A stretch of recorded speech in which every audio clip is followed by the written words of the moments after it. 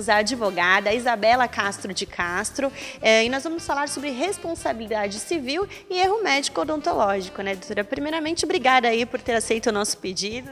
Eu é que agradeço o convite da participação, é muito bom estar aqui e poder compartilhar com todos o conhecimento que a gente vem acumulando ao longo dos anos nessa área. Por que é importante os cirurgiões terem conhecimento do direito médico, né, o direito odontológico? Então, é, mudou muito a forma da gente abordar o relacionamento com os clientes, com os pacientes. Há 20 e poucos anos atrás, nós não tínhamos o Código de Defesa do Consumidor, que veio para ficar, já se estabeleceu, e isso trouxe toda uma gama de novas práticas. E todos os profissionais têm que se adaptar a essa nova forma de trabalho. Ou seja, eu tenho que prestar contas para o meu paciente sobre o que eu quero fazer, o, qual é o meu prognóstico, o meu diagnóstico. Eu tenho que dar as opções para ele daquilo que eu vou fazer e tenho que justificar tudo isso. E se eu tenho opções, é direito dele de escolher quais vão ser essas opções. E o mais importante de tudo, eu tenho que documentar. Isso é um problema sério, porque muitas vezes os profissionais chegam no meu escritório e dizem: Doutora, fiz tudo certo, está tudo perfeito. Só que foi tudo verbal e eu não tenho absolutamente nenhum documento. Às vezes, nem o prontuário está completo. Então fica muito difícil da gente poder transmitir para o juiz qual foi a escolha desse procedimento, a razão de ter agido daquela forma e uma eventual intercorrência que tenha acontecido, que é absolutamente normal, qual foi a decisão do procedimento de ser realizado daquela forma para minimizar aquela intercorrência. Bom, essa parte de documentar é muito importante, mas quais são as suas sugestões, né? Que, que, como é que deve ter, ser feito isso?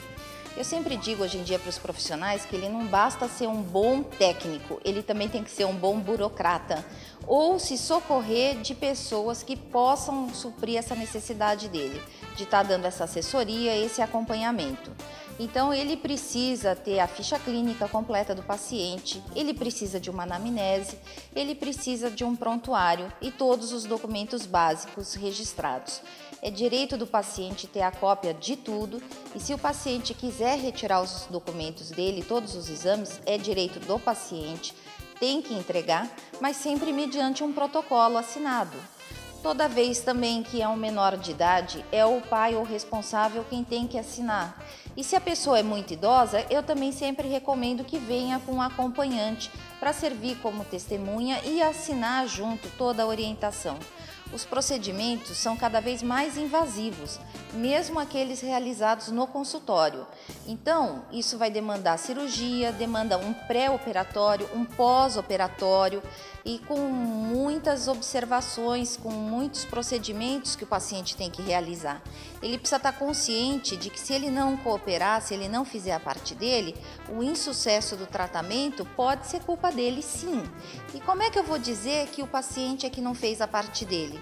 Então eu tenho que demonstrar que eu dei todas as orientações pré e pós-cirúrgicas, que eu entreguei mediante protocolo.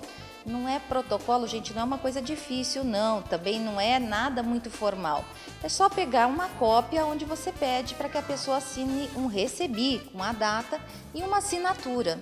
Então é preciso que os profissionais eles tenham essa consciência de que não é para burocratizar, formalizar. Burocratizar é simplesmente documentar para registrar. Que a pessoa tem que ter sempre que o juiz, eventualmente, se for chegar num ponto desse, ele é uma pessoa neutra, aonde ele só pode ter conhecimento daquilo que está nos autos. Não adianta eu ser uma ótima pessoa, eu sou íntegro, eu sou honesto, sou um excelente profissional. O juiz vai até considerar isso, mas ele não vai julgar com base nisso se eu não tenho essas provas.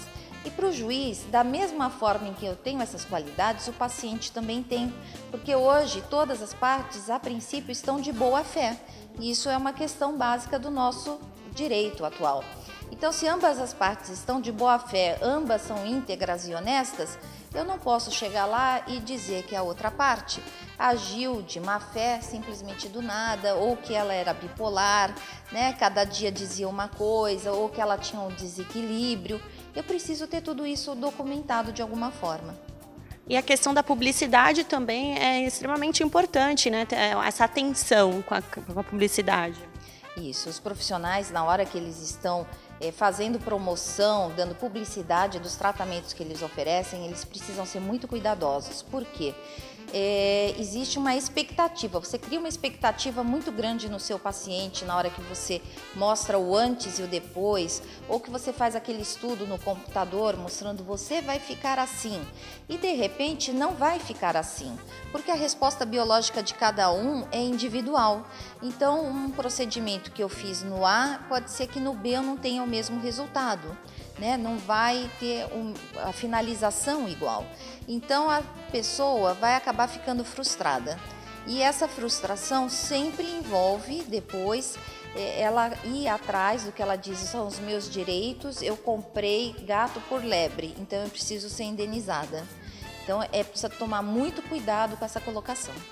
Quais os casos que gerariam uma indenização mesmo para o paciente? Olha, são várias as possibilidades, né? É, os pacientes ingressam com as ações por N motivos. Agora, se essa ação vai prosperar e chegar numa indenização, aí são outros 500. Normalmente não vão dar indenização nenhuma, por incrível que pareça, porque é claro que você precisa demonstrar que houve o erro, mesmo que seja obrigação do profissional mostrar que ele fez um bom atendimento, eu preciso provar o erro e o nexo causal. Se eu não consigo demonstrar o nexo causal, essa ação ela não vai adiante. Se o profissional ele está bem documentado, ele fez a lição de casa dele na organização do consultório, ele vai demonstrar que ele agiu de acordo com as boas práticas e ele então fez todos os procedimentos adequadamente e a eventual intercorrência ela normalmente não é indenizável. Então, é, você sugere que o caminho certo seria mesmo a conciliação? Sempre a conciliação. Eu acho, eu sempre acreditei que a conciliação é o melhor caminho em qualquer processo, em qualquer tipo de litígio. E eu acredito que todos os meus colegas deveriam priorizar sempre a conciliação. A gente agora já tem até no nosso Código de Processo Civil um grande incentivo. Temos aí o encaminhamento da maioria das ações para o Sejusc e eu acredito que nós vamos conseguir um ótimo índice de conciliação.